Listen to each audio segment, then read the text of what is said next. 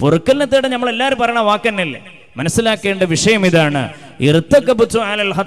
നമ്മളൊക്കെ തെറ്റ് ചെയ്ത റഹ്മാനായ റബ്ബിനോട് നമ്മൾ മാപ്പ് ചോദിക്കുന്നു ശരിയാണ്. പക്ഷെ ഹബീബ് റസൂലുള്ള ഇടപെട്ടാൽ ആ വിഷയം ഒന്നുകൂടി സുതാര്യമാകും. അതാണ്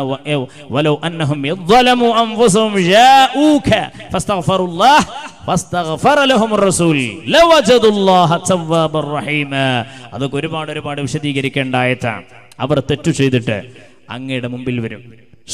എന്നിട്ടോ അള്ളാഹുവോട് പൊറുക്കലിനെ തേടാൻ അങ്ങയുടെ മുമ്പിൽ വന്നിട്ട് അവർ അള്ളാഹുവോട് പൊറുക്കൽ അള്ളാഹുവിനോട് പൊറുക്കലിനെ തേടാൻ വേണ്ടി അവർ നിങ്ങളോട് പറയും. റസൂൽ.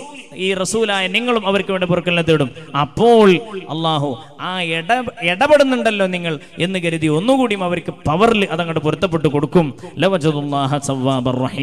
എന്ന് പറയുന്നുണ്ട്. അപ്പൊ മനസ്സിലാക്കേണ്ടത് നമ്മളൊക്കെ പാപികളാണ് മഹാപാപികളാണ്. അഷറഫുൽ മുഹമ്മദ് മുസ്തഫ സല്ലല്ലാഹു അലൈഹി വസല്ലം തങ്ങളുടെ കരങ്ങളാൽ നാളെ നമുക്ക് രക്ഷപ്പെടാൻ കഴിയണം. അള്ളാഹു നമുക്ക് തോഫിയൊക്കെ നൽകട്ടെ. എന്റെ പ്രിയപ്പെട്ട ഹബീബിങ്ങളെ അള്ളാഹു നമ്മളെല്ലാവരും ഹബീബ് റസൂലുള്ള പ്രത്യേകമായി നാളെ രക്ഷപ്പെടുത്തുന്ന ചില ആളുകൾ ഉണ്ട് എന്ന് അവിടുത്തെ ഹദീസിലൂടെ നമ്മളെ പഠിപ്പിച്ചിട്ടുണ്ട്. അതേതാണ്? ഈമാൻ സലാമത്തായിട്ട് വളരെ റാഹത്തിൽ നമുക്കൊക്കെ മരിക്കണം എന്നല്ലേ നമ്മൾ ആഗ്രഹിക്കുന്നത്. മരണം ഹൈറാകുന്ന നേരം കലിമത്തു ഷഹാദ ഇലാഹ ഇല്ലല്ലാ ചൊല്ലി റാഹത്തോടുകൂടി മരിക്കാനുള്ള ഭാഗ്യമുണ്ടാകണം. അതുണ്ടാകാൻ വേണ്ടിയിട്ട് നേരത്തെ നാം ഓതി വെച്ച ആയത്തുണ്ടല്ലോ ലഖദ് ജാ അത് വളരെ പവർഫുൾ ആയിട്ടുള്ള ആയത്താണ്. അതിനൊരുപാട് മഹത്വങ്ങളാണ്. അതിന്റെ മഹത്വങ്ങൾ പറഞ്ഞാലും പറഞ്ഞാലും അതെവിടെയും എത്തുകയില്ല. അതിനേക്കാ അതിന് അതിന് മാത്രം ആ ആയത്ത് വലുതാണ്. സിറുൽ ഖുർആൻ എന്ന് മഹാന്മാർ പറഞ്ഞിട്ടുള്ള ആയത്താണ്. ഖുർആാനിന്റെ രഹസ്യമാണ് ലഖദ് ജാഅക്കും റസൂലുൻ എന്ന് പറയുന്ന തൗബയിൽ അവസാനത്തെ ആയത്തുകൾ. അത് ഖുർആാനിന്റെ രഹസ്യമാണ്.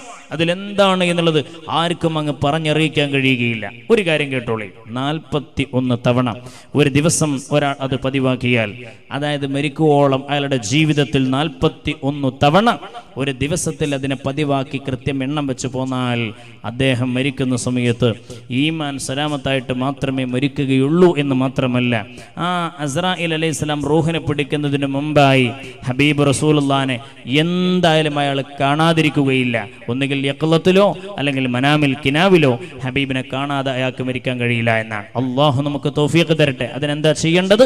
ബഹുമാനപ്പെട്ട മകരിബ് നിസ്കാര ശേഷം പത്തു തവണയും സുബഹ നിസ്കാര ശേഷം പത്തു തവണയും ലൊഹർ അസർ എഷാ നിസ്കാരങ്ങൾക്ക് ശേഷം ഏഴ് വീതവും അവ മൂഴ് ഇരുപത്തൊന്നായി ലൊഹറും അസറും ഇഷാവും മൂവേ ഇരുപത്തിയൊന്ന്.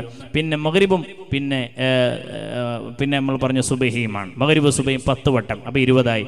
ഇരുപതും ഇരുപത്തൊന്നും നാൽപ്പത്തി ഒന്ന് അങ്ങനെ ഒരു ദിവസം മിനിമം എല്ലാ നിസ്കാരങ്ങൾക്ക് ശേഷം ഈ പറയുന്ന രീതിയിലുള്ള എണ്ണം പരിപാലിച്ചു പോരുക.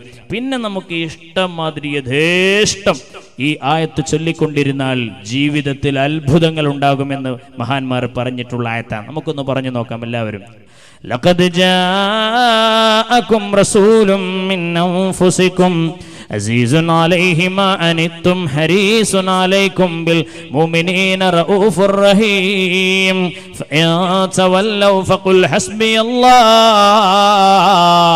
ലാ ഇലാഹ അലൈഹി തവക്കൽതു റബ്ബുൽ അർശിൽ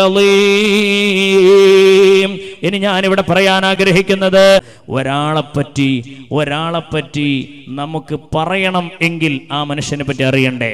അള്ളാഹു താല പറഞ്ഞത് എന്നാണ്. അപ്പോൾ ഒരു വ്യക്തിയെ പറ്റി നമുക്ക് അറിയണമെങ്കിൽ ഒരു വ്യക്തിയെ പറ്റി പറയണമെങ്കിൽ അറിയണം.